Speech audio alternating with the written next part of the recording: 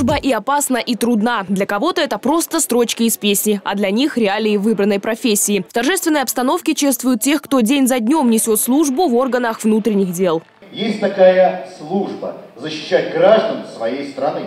Кто он такой? Полицейский. Человек беспристрастный, храбрый, ответственный. И совсем не важно, в каком именно подразделении служит. Риск для жизни, он, безусловно, есть. Неизвестно, где патрульный окажется и куда ему придется выехать, в какой квартире, в какой ситуации. Поэтому это самое сложное. Сотрудников МВД по городскому округу с профессиональным праздником поздравил глава Химок. В этом году Дмитрий Волошин выступил с инициативой выплатить материальную поддержку полицейским, которые несут службу в общественных местах и на массовых мероприятиях. Премии будут выплачивать ежемесячно на протяжении всего следующего года. Дополнительную материальную компенсацию получат 80 полицейских. Мне с каждым из вас, вот почти тысячу человек состав, действительно приятно, как говорится, спина к спине работать.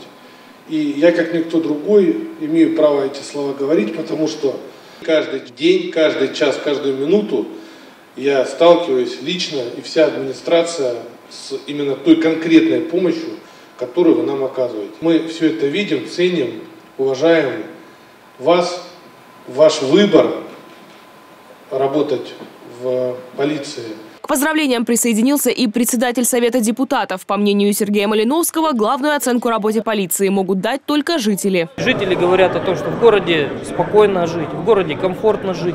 Сотрудников полиции они видят э, в городе. Конечно, они могут к ним обращаться, и те э, со своей стороны оперативно реагируют на все обращения жителей. Чтобы жизни и здоровью жителей города ничего не угрожало, полицейские принимают необходимые меры незамедлительно. Без их ежедневной работы, уверен депутат Московской областной думы Михаил Раев, не обойтись. Я считаю, что э, профессия полицейского, она очень важна и очень нужна в нашем обществе.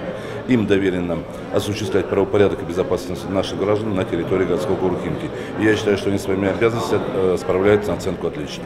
День сотрудника МВД не только праздник, но и повод подвести итоги проделанной работы. За 10 месяцев сотрудниками управления в Химках раскрыто почти полторы тысячи преступлений. Найдено и задержано 1099 правонарушителей. За прошедший период 2021 года существенно сократилось количество случаев уличного разбоя, краж, преступлений, совершенных на бытовой почве. За доблестную самоотверженную службу сотрудников наградили грамотами и знаками отличия.